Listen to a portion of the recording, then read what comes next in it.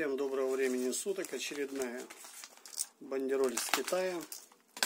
Очередная посылка, которая доставлена новой почтой прямо домой.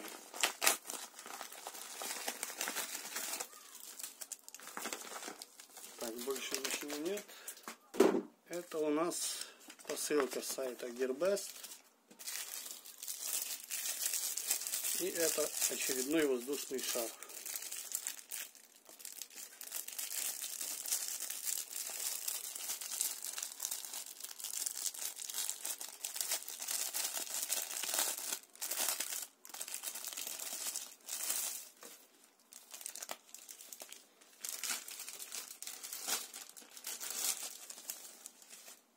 Вот такой вот воздушный шарик.